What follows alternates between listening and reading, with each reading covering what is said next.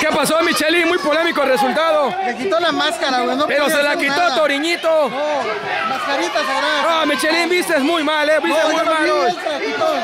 Ya se dio el resultado.